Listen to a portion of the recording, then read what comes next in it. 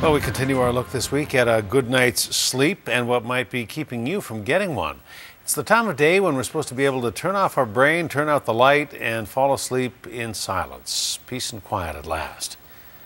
But bedtime can be a nightmare if you're sleeping next to a snorer. And the person who's doing the snoring might actually be suffering from a serious disorder. Now, CTV's Andrew Johnson shows us it often goes undiagnosed.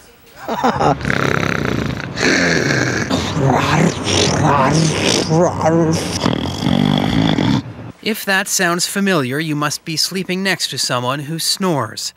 We're sorry. Experts say it's the reason more and more couples are sleeping in separate beds.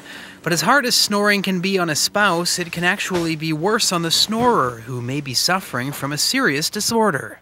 I slept with my eldest daughter one night um, when we were visiting my father, and she said it sounded like sleeping with a semi truck that kept stalling.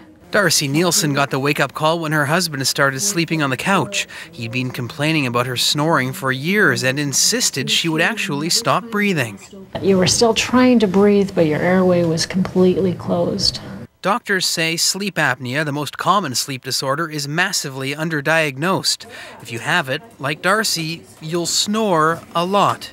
You'll sleep a lot, but you'll still be exhausted. Commerce, education, and the um, uh, what's the third one there? Let's see. Remember Rick Perry, the Republican presidential hopeful, went blank during a 2011 debate. And let's see. I can't. The third one I can't. Sorry. Oops. And this Quebec politician was having trouble staying awake in the legislature. Apparently, both men have since discovered they suffer from sleep apnea.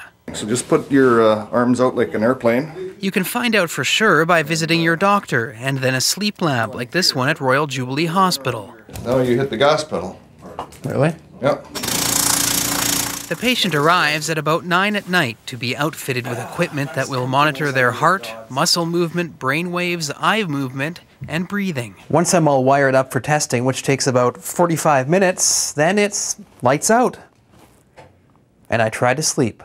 The lab tests 500 people every year, and at the end of this month, will double its capacity. Now you can see if you notice a difference. Darcy oh, Nielsen didn't need the sleep lab. She took home a monitor from Provincial Sleep Group. Oh, She's being treated with a nasal CPAP that delivers pressurized air to keep her airway open.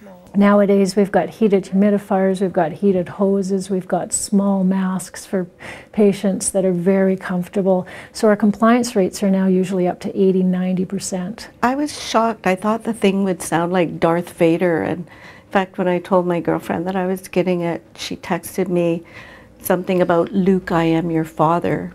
So good? Now, Nielsen starring in Return of the REM Sleep, opposite her husband, who has returned to bed.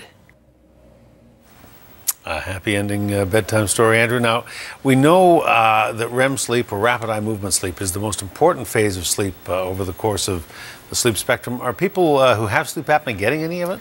Hudson experts say people suffering from sleep apnea who will stop breathing, by the way, for up to 30 times an hour sometimes get very little REM sleep, meaning for most of the night they're not dreaming. And what happens is once they get some kind of treatment and begin to get a full night's rest, they're going to have what's called a REM rebound because they've been so deprived. They'll dream a lot. They'll also wake up feeling great.